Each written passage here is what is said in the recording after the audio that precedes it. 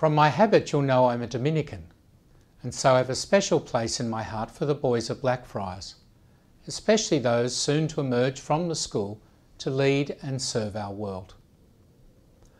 I'm not the first Archbishop in Australia to wear the habit of the Blackfriars.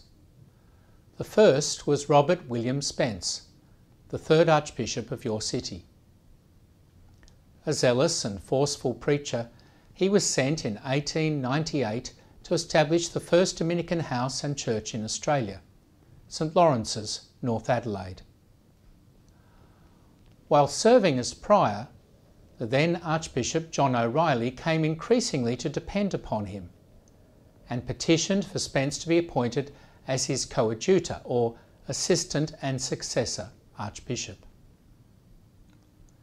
Despite some Australian bishops objecting to a religious becoming bishop, Spence was appointed just as World War I began and became Archbishop the following year when O'Reily died, continuing in that role for two decades to 1934.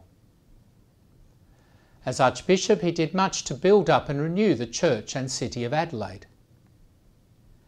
Interestingly, he continued to wear the simple habit of the Blackfriars rather than the purple of an archbishop. The boys and men of Blackfriars Priory School should understand what that means. The black in Blackfriars refers to the cappa, or action hero's cape of the Dominicans. The friars refers to those part monks, part actives, who contemplated at home and then shared the fruits of that contemplation with the people of their city. The black and white they wore was symbolic of the truth they thereby tried to share with others in their preaching and lifestyle. This coming year, it will be the 800th since St Dominic's Blackfriars were approved as an order within the Church. You are part of that eight centuries old family.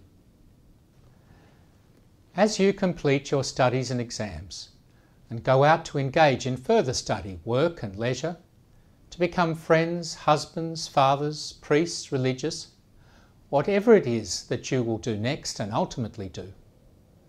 The black and white charges you with the responsibility of giving a lead in our world precisely by speaking and living the truth.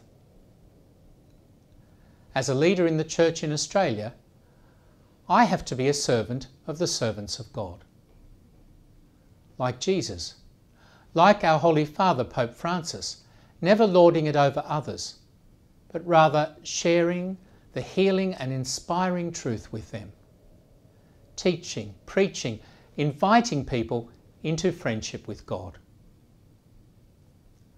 Whatever you end up doing with your life, make it your habit to offer the world encouraging words and saving truths you know there is so much more to life than just accumulating wealth, power, and pleasurable experiences. The all knowing God gives men like yourselves the gifts and opportunities to raise yourselves and others to higher truths and a deeper, more abiding happiness. Have courage. Love God and humanity and our world. Speak the truth in love. God bless you in the years ahead.